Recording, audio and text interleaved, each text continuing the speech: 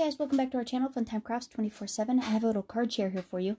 I wanted to make um, a greeting card for uh, John's niece who is going to have a baby and came up with this cute little thing.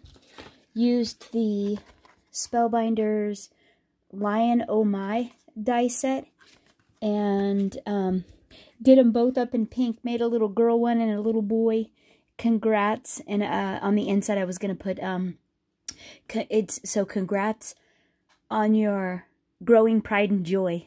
On the inside is what I'm gonna write on the inside.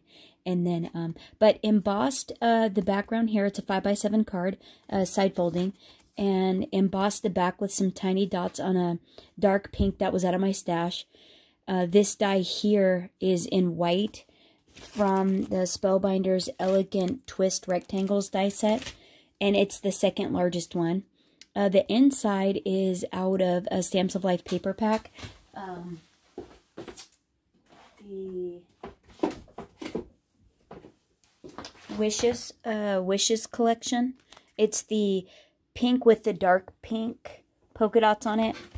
Uh, no, actually it has the light pink polka dots on it.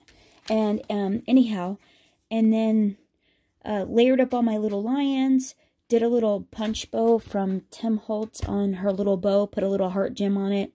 And then uh, this congrats die is out of the Stamps of Life Everyday Greetings die set. And I layered it on a light pink and then foiled it with the Glimmer Hot Foil light pink.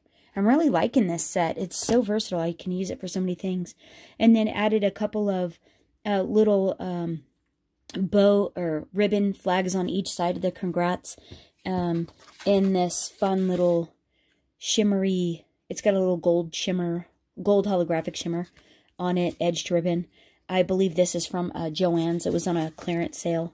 Um, Tiny attached it with my Tim Holtz Tiny Attacher um, added a couple of the tiny googly eyes and thought this came out super adorable. And uh, anyways, wanted to share that.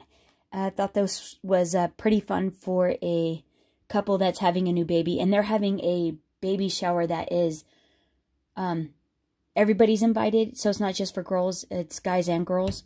Um, I don't know what those are called, but it's one of those. So it should be a lot of fun anyway. So John was going to go with me and um, go celebrate and congrat congratulate the expecting uh, parents. And they've already got a couple kids and so yeah, super fun. Anyways, hope you guys are having a fantastic weekend. Hope you enjoyed this card share and we'll catch up with you again on Monday. Thanks guys. Bye-bye.